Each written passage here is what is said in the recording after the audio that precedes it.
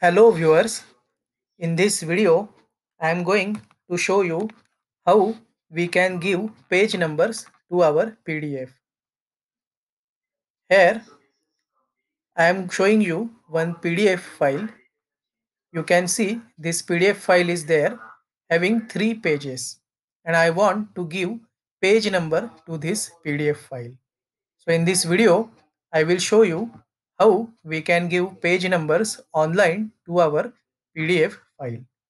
For this purpose, open your browser and in Google search window, type I love PDF and press enter. Now click on this first website ilovepdf.com.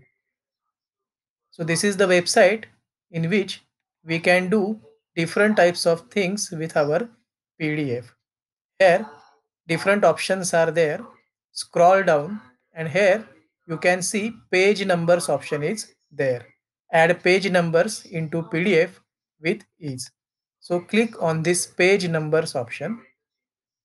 Now click on this red button and select respected PDF file from your computer or laptop.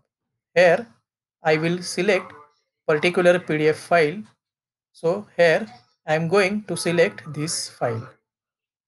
Now you can see my PDF file with three pages is there. At right hand side you can see page number options are there. And here I can select position.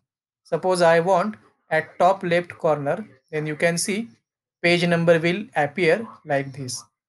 Middle position, top right, top left, top right.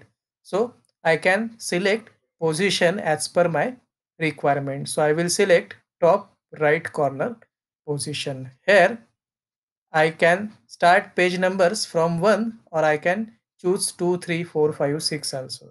So now I have selected these three pages with page number position on top right corner. Now I will simply click on this red button add page numbers. Now you can see I love PDF is adding page numbers and now PDF has has been ready with page numbers.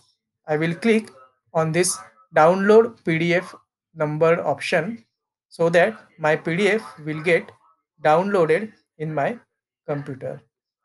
Now I will open my PDF and here you can see page numbers are there with my PDF.